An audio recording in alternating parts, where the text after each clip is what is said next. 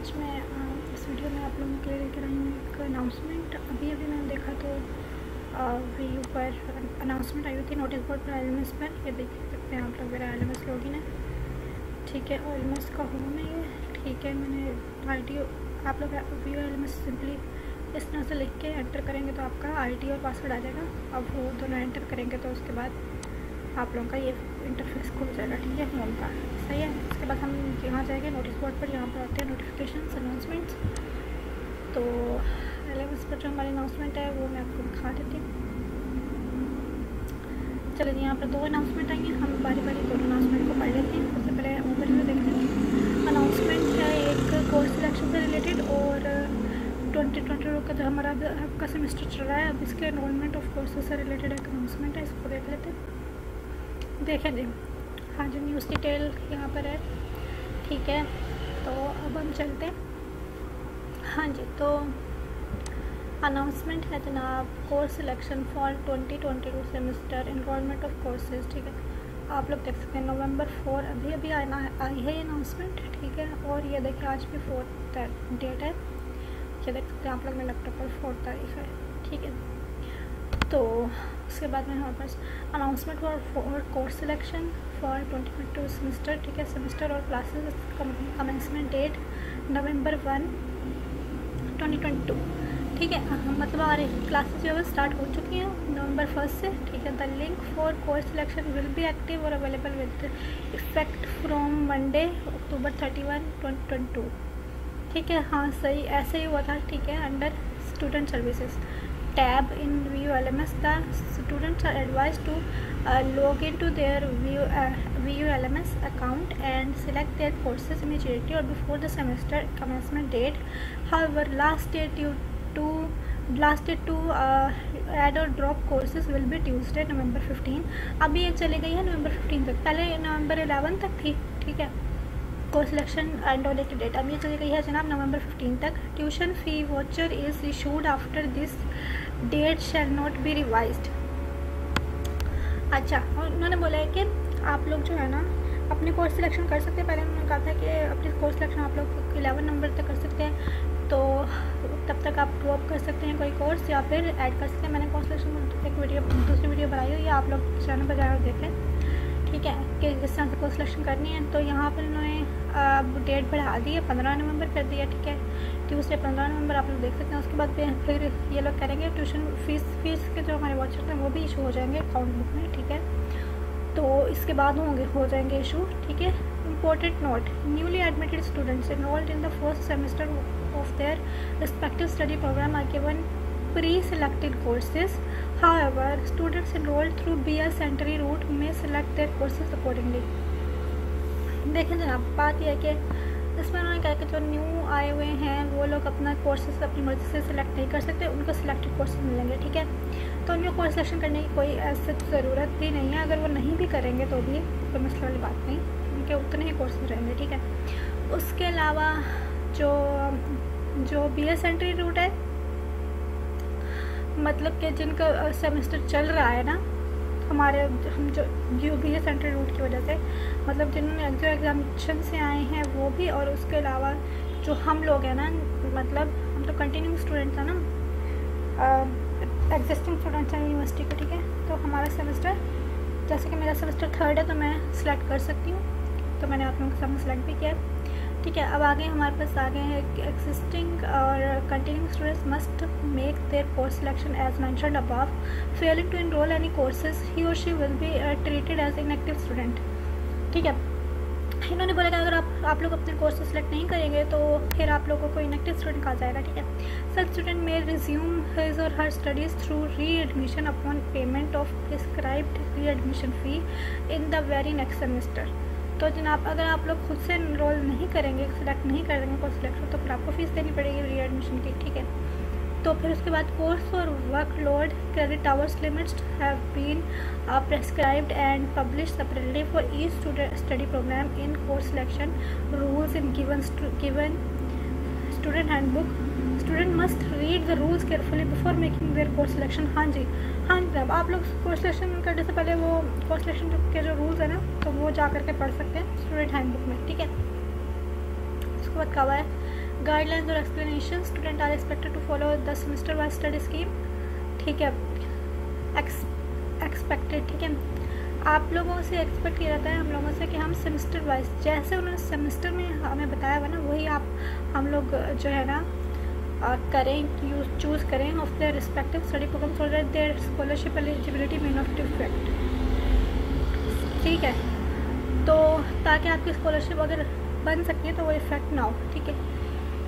तो उसके बाद continuously enrolling maximum uh, course or workload in each semester does not mean that study program can be completed earlier that its minimum prescribed as a residential requirement देखें अगर आप लोग जैसे कि मैंने इस सेमेस्टर में सेवन सब्जेक्ट्स चूज़ किए हैं ठीक है तो वो मैंने खुद भी सोच समझ कर ही चूज़ किए हैं ठीक है लेकिन इसका ये मतलब नहीं है कि स्टडी प्रोग्राम जो है वो उसमें चार साल से कम अर्सा लगेगा नहीं चार साल पूरे ही लगेंगे ठीक है मैं, मैंने तो एक रीज़न की वजह से किया है कि, क्योंकि लास्ट में जो फाइनल प्रोजेक्ट होते हैं, उसमें मुझे लगता है कि बहुत ज़्यादा मेहनत करनी पड़ेगी, इसलिए मैं उस पर ही तवज्जो दूँगी।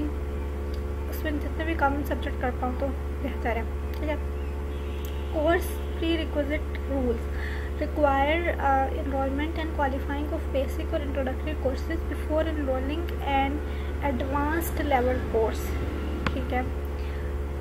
अच्छा अब therefore set rule must be followed and given due care while making course selection ठीक है students enrolled in two year और master associate degree programme during semester 2018 for 2018 are allowed to enrol their leftover courses for the completion of programme ठीक है, इन लोगों के जो रह गए हैं ना, जो, जिन्होंने एसोसिएट डिग्री प्रोग्राम किया है, वो लोग उसको सेलेक्ट कर सकते हैं अपने रह गए जो उनके रिमेनिंग प्रोग्राम्स हैं। ठीक है उसके बाद students with blocked v elements due to non payment of fee will not be allowed to make course selection unless they deposit their outstanding dues and get their elements account selected from accounts department हाँ तो ये कह रहे हैं कि आप लोग को पहले फ़ीस पे करनी पड़ेगी अपनी। पिछली जो भी फ़ीस रहती है, आप लोग पे कर दें, उसके बाद फिर आप लोग से सिलेक्ट कर पाएँगे, ठीक है? उसके बाद grade improvement policy student can any time improve a course in which his or her obtain grade is less than B वो वो कोर्सेज आप लोग जो है वो इम्प्रूव कर सकते हैं, जिसमें आपका ग्रेड बी से कम होगा, ठीक है? इन सच a case he or she has to repeat the improvement courses in the forthcoming semesters in which that is offered ठीक है? अब देखें, उन्होंने कहा कि अगले सेमेस्टर में आप लोग वो वाला कोर्स ले सकते हैं और उसे इम्प्रूव कर सकते हैं। वापस से उसको उसका एग्ज़ाम दे सकते हैं, अगर आपका ग्रेड उसमें बी से कम है, ठीक है? उसके बाद गाइडलाइंस और explanation failed courses can be reported until qualified ठीक है? जो फेल्ड कोर्सेज होते हैं ठीक है वो भी फ़ील्ड कोर्सेज जो है रिपीट कर सकते हैं। जब तक के आप आप लोग अपने फ़ील्ड कोर्सेज को भी रिपीट कर सकते हैं जब तक कि आपकी उसमें आ, अच्छे मार्क्स नहीं आ जाते ठीक है? improved और better grade of a course will substitute और रिप्लेस द प्रीवियस और lower grade and eventually increase the C G P अब जो है ना इम्प्रूव जो हो जाएगा सब्जेक्ट उसका, जो ग्रेड इम्प्रूव हो जाएगा तो उसके बाद उसका सी जी पी ए खुद ब खुद ही इम्प्रूव हो जाएगा, ठीक है? However in case of non improvement of grade the previous better grade will stand and counted towards C G P conversion और अगर आप नहीं इम्प्रूव करते तो पुराने वाले जो आपके सही ग्रेड थे ना वही काउंट किए जाएँगे, ठीक है? इसके बाद declaration by student I help I acknowledge that I have read and complete understood अब rules and guidelines including course selection scholarship and semester fees freeze rules etcetera I understand that I shall be responsible for the consequence of violation of set rules and thus promise to abide by the rules framed by the university time to time अब देखें, यहाँ पर एक undertaken होता है affidavit की तरह होता है कि मतलब मैंने सब कुछ कर लिया, अपनी ज़िम्मेदारी पर हम लेते हैं कि मतलब मैंने सब कुछ रीड आउट कर लिया। अगर मेरी तरफ़ से कोई गलती होती है तो इसलिए यूनिवर्सिटी की रिस्पॉन्सिबिलिटी नहीं होगी, मेरी अपनी रिस्पॉन्सिबिलिटी होगी, ठीक है? अच्छा स्टूडेंट्स हैविंग इशूड इशूज और seeking guidance regarding course selection may email और कॉन्टैक्ट टू अच्छा जिनको भी कुछ भी पूछना है वो यहाँ पर कॉन्टैक्ट कर सकते हैं, ठीक है? टिकटिंग सिस्टम से भी आप लोग कॉन्टैक्ट कर सकते हैं ईमेल टिकटिंग सिस्टम अब तो ईमेल का कॉन्सेप्ट थोड़ा इन्होंने कम कर दिया है, लेकिन यहाँ पर इन्होंने दिया हुआ है सारा। हर डिपार्टमेंट के ईमेल्स इन्होंने दिए, दे रखे हैं यहाँ पर। आप लोग देख सकते हैं। ठीक है, और आप लोग चाहते हैं कॉन्टैक्ट करना तो कर सकते हैं। अगर नॉट है internship and research product is mandatory for all student of B S math communication and B S psychology W F spring two thousand nineteen batch अच्छा। इन्होंने इन लोगों के लिए किसको मैंडेटरी किया है? फाइनल ईयर प्रोजेक्ट और रिसर्च प्रोजेक्ट ठीक है? इंटर्नशिप और रिसर्च प्रोजेक्ट सही है। उसके बाद कोर्स सिलेक्शन यूनिवर्सिटी पाकिस्तान चलें जी यहाँ पर ही अनाउंसमेंट एंड हो जाती है। ठीक है। ओके फाइन ये एक अनाउंसमेंट थी और दूसरी अनाउंसमेंट हमारे पास है volunteers required for twelfth convocation of at Multan Faisalabad and Sialkot. आप देखें जी तो volunteers required for twelfth convocation at Multan Faisalabad Sialkot यहाँ पर वॉल्टियर की ज़रूरत है, ठीक है। Intends to hold its twelfth communication at Multan ठीक है। ट्वेल्थ कन्वकेशन के लिए इनको वॉल्टियर्स चाहिए, लोग चाहिए।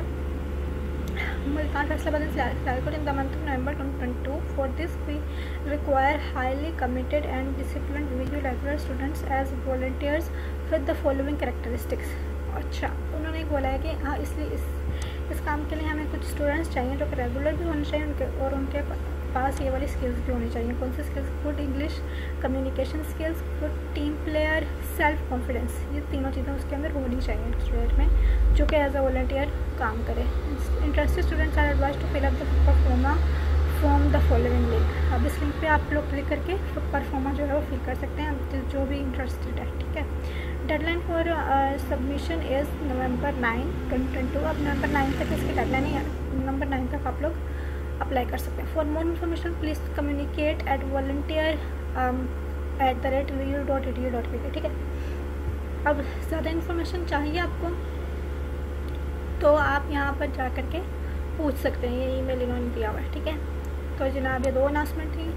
अब तक यही दो अनाउंसमेंट आई हैं तो आई होप आप लोगों को वीडियो अच्छी लगी होगी तो इसको लाइक करें कमेंट करें शेयर करें और सब्सक्राइब ज़रूर कर दें, क्योंकि मैंने आपको फ़ौर फ़ौरन अनाउंसमेंट की जो खबर है वो दे दी है। ठीक है। तो जनाब आई होप आप लोगों के इससे कुछ ना कुछ तो फ़ायदा हुआ ही होगा होगा भी I don't so thank you so much अल्लाह हाफिज़.